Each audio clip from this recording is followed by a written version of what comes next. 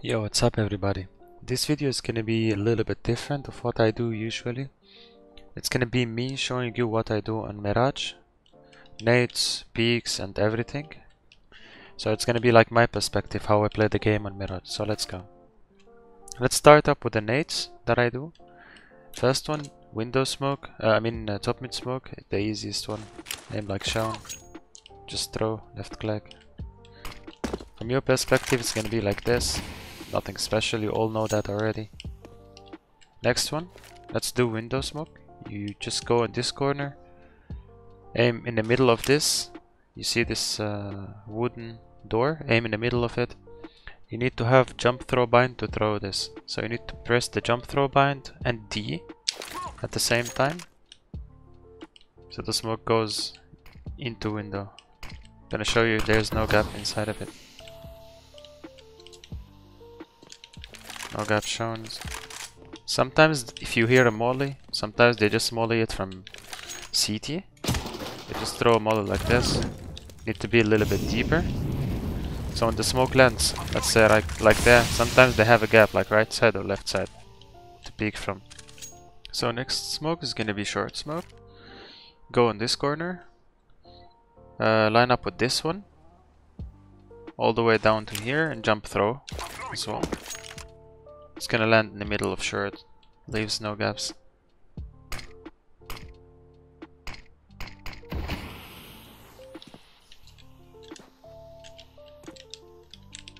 Now towards A side. A smokes, default smokes, CT, jungle and stairs. Let's start with CT smoke. Aim like shown. Jump throw.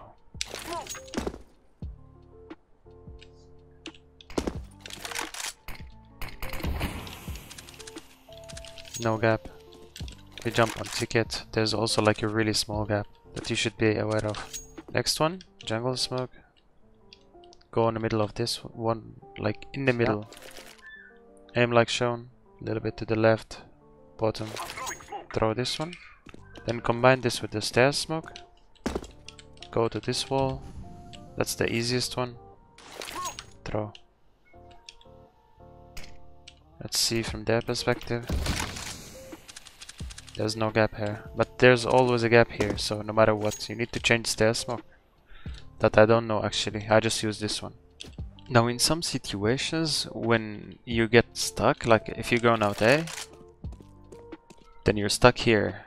You get you want to smoke CT sometimes. That's a really uh, helpful smoke for me. I aim like shown, I just go in the corner, aim like shown, just left click throw. That's a good CT smoke. It's really helpful for me. It might have a gap or something, but from my position, no it doesn't actually. It has a really tiny gap if someone is planting default. But it's helpful for me. You can also do a jungle smoke from here. It's not for a cross, so be careful. This one only for jungle. If you have a teammate is holding con or holding short, then this one is useful. There's also one more smoke that I do sometimes. Just stuck in this corner. Aim like shown. Left click throw. Let's see if you're playing from your perspective. This one's gonna smoke the cross for you. You can just cross to default safety, but it has gaps. One gap is right here. You can also peek from this gap. You can get it for your advantage if you're going close. There's also a top con smoke that I do sometimes. Like if you're playing pistols, the strat is smoke top con. go out A fast. Just aim, go in this corner, aim like shown. Jump throw. These smokes are for 128 tech by the way, Savas. I don't know about 64 tech because I don't play matchmaking boys.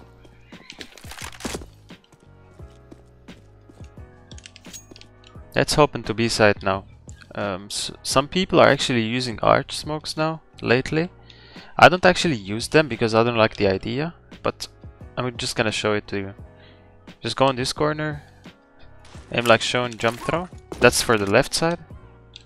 Then hug this wall a little bit, aim like shown, jump throw. Now these both smokes are actually useful sometimes, but I'm not a big fan of this, because they can just stuck in the smoke. Another smoke that I do is this one. Go like shown, jump throw, this one, is useful for me more than arch smokes. It's gonna smoke window. So a lot of times this Oper gets kills. So you're gonna just close safety to B side. Just be aware because once they see the smoke, if I was in their in their position, I just go out and then go in a better position backside. So be careful. It's gonna give them more chance to go into B side. And now the nade part is finished. I'm, I'm gonna show you what I do on the map. Let's start with CT side. Nothing special. What I do is the like the basic molly for ramp. Try to bounce it on a wall. It goes left side deep. It's better than just throw it here. So it mollies like the whole area. And I can combine it with smoke, like I go right here, throw this one. It looks like nothing special, but sometimes if you if you're like an A player, you're gonna play close, see if no one is going out. This one gives a tiny little gap that you can see if this guy is, you see this here, if this guy is going like in the wall. Because what they actually do if they're executing A, this guy is always trying to go close right there. So I can see him in the gap. So for connector, sometimes when we have echo, I do this one-way smoke, go in the corner, see this lamp, a little bit above, second here, and then right click. It's a one-way smoke if someone is going fast connector, and you can just give info if someone is going short. Try not to shoot them because you're not gonna kill them with one bullet, just info is enough. Then as you see, they can see nothing. Then for B side, uh, try to go anti-flash always. If they're just rushing, they're gonna just keep spamming flashes. Try to reach car. If your teammate on short says B rush or step speed or something, you just molly like this. Stay anti-flash, go in a better position maybe, because they're gonna molly this anyways. If they're good good players, they're gonna molly here. And then just throw like some really decent flashes to to counter you. Like if you're a B player, I'm not, but I think it's the priority for you is to stay alive Sometimes it's good to throw this smoke and then stay behind it. They're gonna go top car, it's a, like a risky position, or they're just gonna throw. In my, in my opinion, I just like crouch right here. Sometimes they go like a fully retarded mood. they jump through the smoke, but you can hear someone is really close left side. Like, I don't play open B, so let's say if I have like an M4 or AK, just stay like this. You can just get a kill. Maybe you can just get lucky. One tap people right there going there. I like to play bench a lot. Sometimes it's also good. Like if your teammate is calling a B-rush to molly here. Then just go back again. Go towards the backside. If someone is dropping, you can hear you can hear them burning, so you can see how many people just drop down. Or if they're just gonna keep flashing, this this position is flashable. So be careful. Try to like to play in a position that you can hide insta after they flash. Maybe just hold right side or hold left side. Don't panic, go like this full mode and then you're gonna die from one of the sides. So, it, like in my situation, I just hold this side because I always think about like, if I'm the enemy, what should I do? Then, let's say I jumped window. I would check here and then go here. That That's what I do usually. Then check here, check here. So the first encounter for me is gonna be this side. Let's say that there's a no B rush if you're playing B and nothing, you should just save your nades, take a better position and try to hold it. What I actually do is to hold this position, like shown here. It's good because it's uncheckable most of the times. Like if you stay like this and hold like this, it's pre-fireable for them.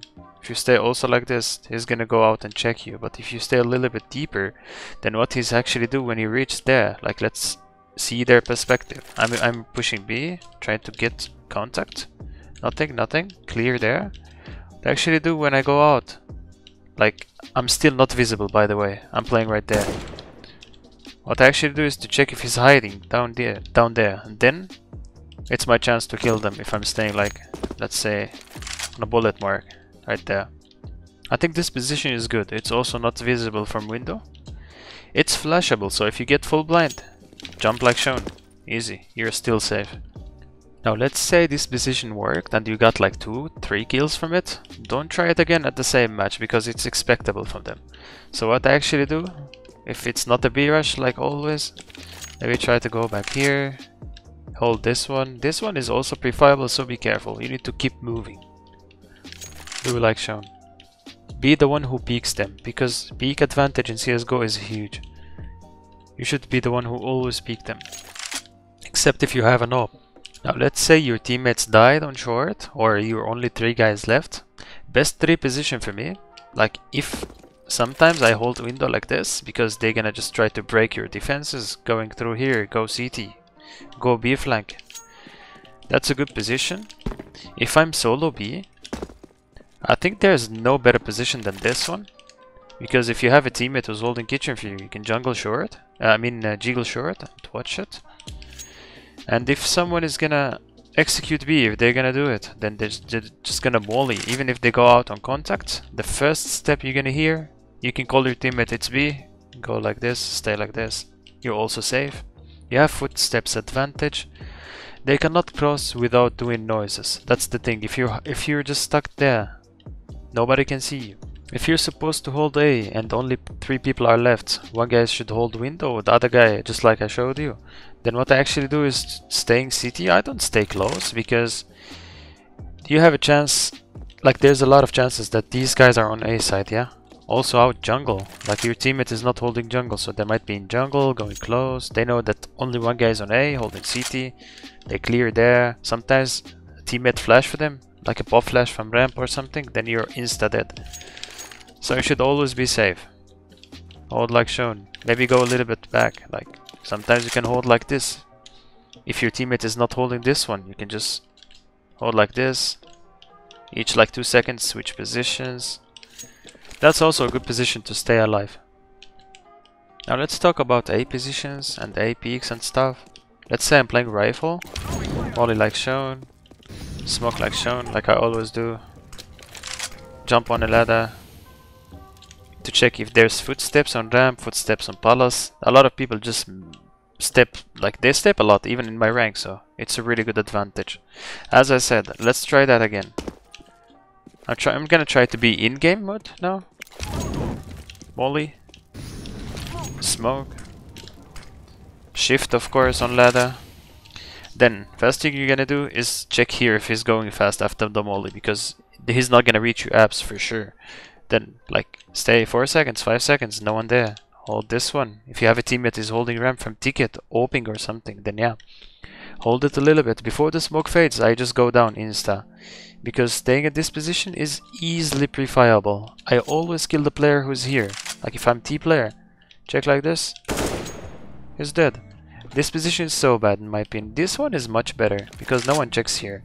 But it's it's visible if they're going out ramp Let's say they're gonna tramp like this. They see your gun. You're insta dead. So what I do is I go insta down here before the smoke ends. Then try to hold like this maybe. Then if your teammates are done on mid, no one is mid or let's say they cleared mid a little bit then they went back to not.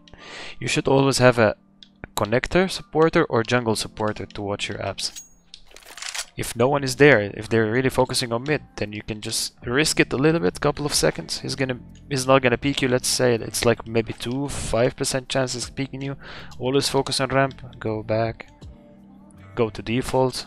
Go hold palace a little bit. Then depends on the round. Like if your teammate doesn't have connected, then should always be aware of connected push.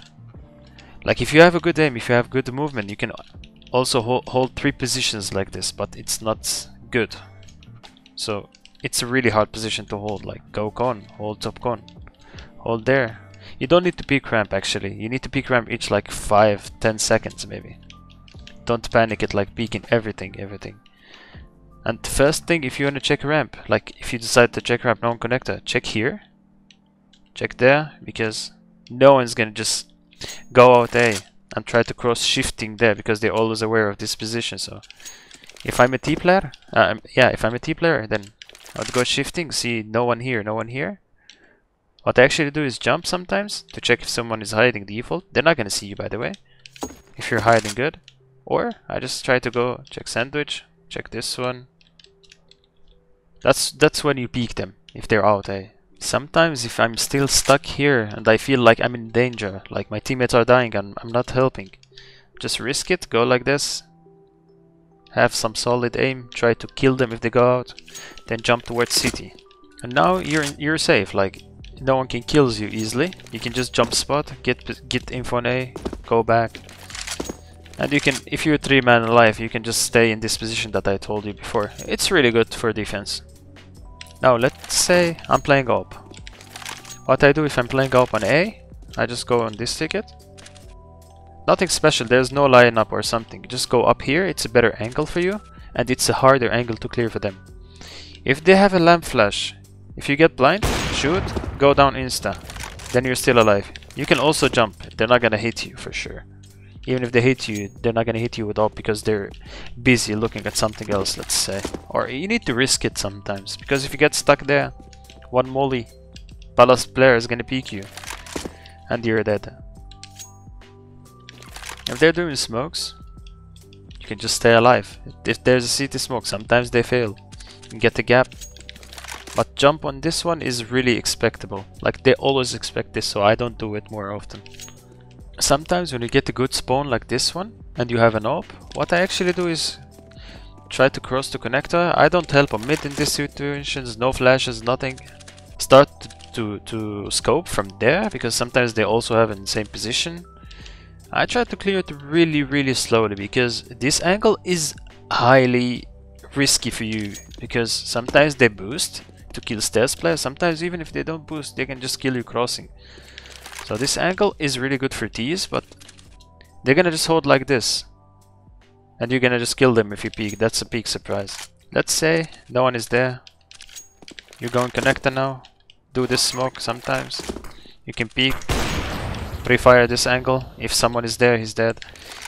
And now you should, like, you should count uh, count on the footsteps advantage. Now you know how many players are mid. They're not gonna just all, always shifting from mid because they're in danger from window and short and con. So yeah, they're gonna do steps.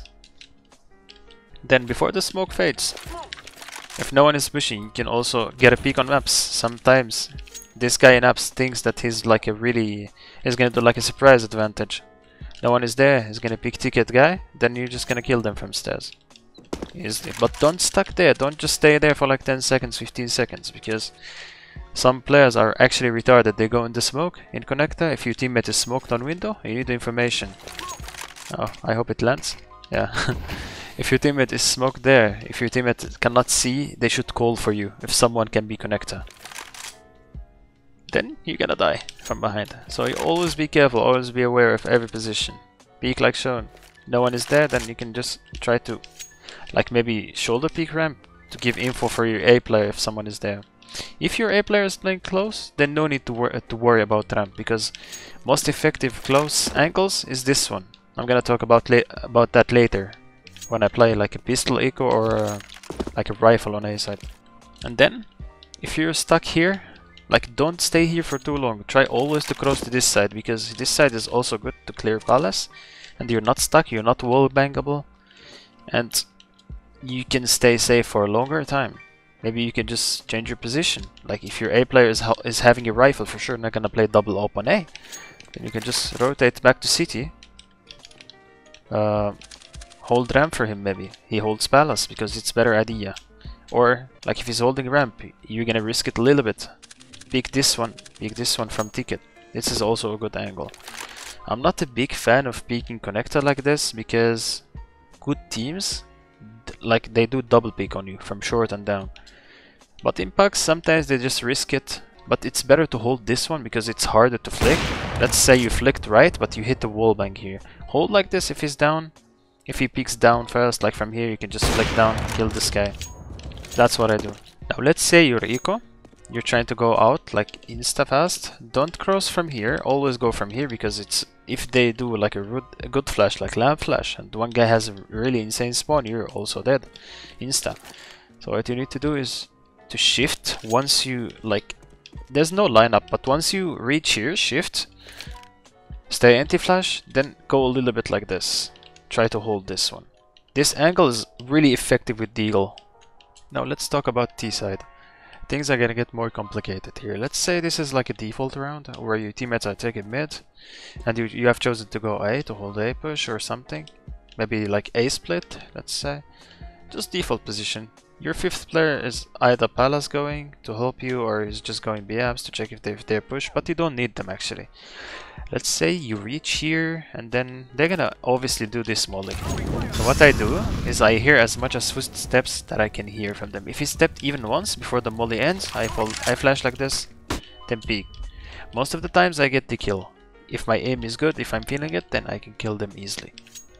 In their perspective, it's gonna be like this, a molly, then it's gonna come closer, maybe just flash like this, clear ramp, clear there.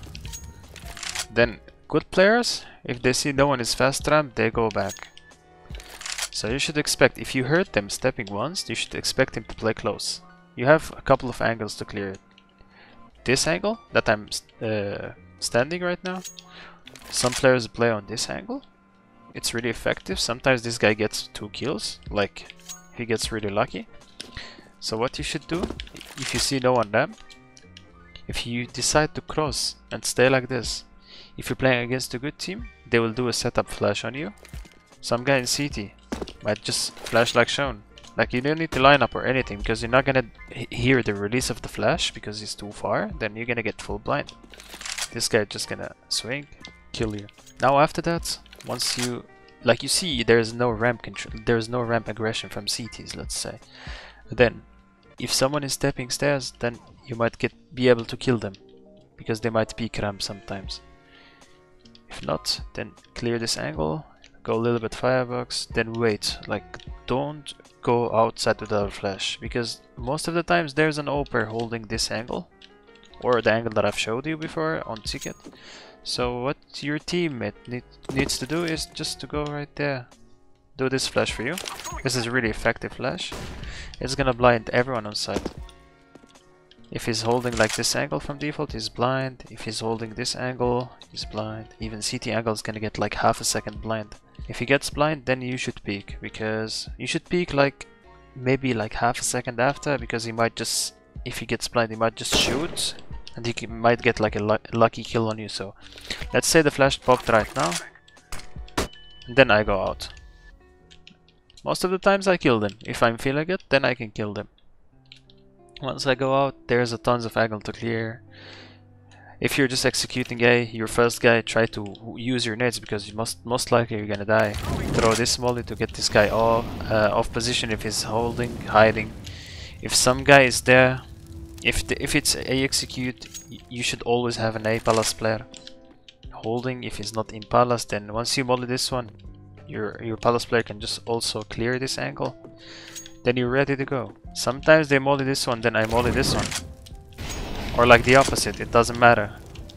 That's how I play it on A. Now let's say I'm playing Palace. I always go here, jump and then shift. No more footsteps for them, they're not gonna hear anything. Then what I actually do, I hold this angle for like 3 seconds. Then go hold like this, only like this. If you cross more, there's a chance that, that they have like a really good ace spawn. And he will buy a AWP I will show you how, how he gets there. Like, really good spawn can cause them like can cause you like to die. And they, then he holds like this. He has a better chance to kill you because if you peek like this, you're dead. So what I actually do, I just expect them to push palace like this. I don't get any more aggression. Stay like this for like 10 seconds, maybe 15 seconds, then start a little bit to go to this side, this side. This angle, uh, sometimes it works, but it's pre-fireable. I like to play like here in off angle. Because if I'm the CT aggressive player trying to clear palace, check there, check there, no one is there, then check this one, then check this one. Once I go from here to here, I will be here, down, like let's say here. I have a better chance to kill them then. Now let's talk about mid setup. Let's say they will take mid. You can smoke this one if they ask for it or smoke the window one that I showed you. Some player are gonna smoke short for sure. Then mid is gonna be like this once you go out. You only need like a good flash. Get the peek, always be careful of this angle. Sometimes they go aggressive, they go out connector. Now you have half of mid. But the most important stuff when you take in mid, not to just hold like this to wait for them to peek you your oper maybe maybe if he's holding like this it's it's helpful because he might peek after the smoke or if he's holding like this like let's say I have an op In my in my case, I would hold like this, or maybe like double scope. If he's speaking from down, I can just click. If he's speaking from up, I can just flick. Once you go out, let's say the smokes are there, always be careful about like underpass player. Sometimes they push underpass. There's two kind of underpass pushes. I don't do them, that's why I don't I didn't show you them on CT side, but what they actually do, they, they throw like a pop flash. I don't know if it's accurate this one, but yeah. Then peek to catch you off guard if you go on underpass fast from T side. And then if no one is there, then they just stay and hold this angle because a lot of people just go here or they go close connector. Then it's a free kill for them. I don't like this angle because it's really risky for a CT guy to, to play there. Sometimes it, it pays off, but it most likely I don't like this angle, so that's why I didn't do it. And let's say you're out mid and you, you need to re-smoke window again. There's a good smoke to do. Aim like shown. You see this one and this one. Aim like in the middle. Go a little bit to the left. You can left click this one. And then you can see there's no gap in here and here. Sometimes if you're also stuck on mid and you decided to go B split, that's a good top con smoke. Just bounce it on this wall from this side. It smokes top con. If, you, if your teammate is on the underpass, you can do it as well from this side. It, it's also good and effective because other teammates, like if window is also smoked, they can cross and fight for short player.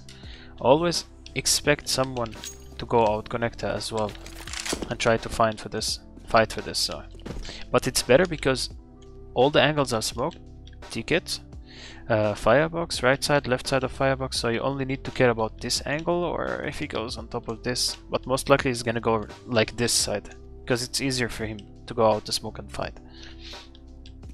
You can do a B split using this one.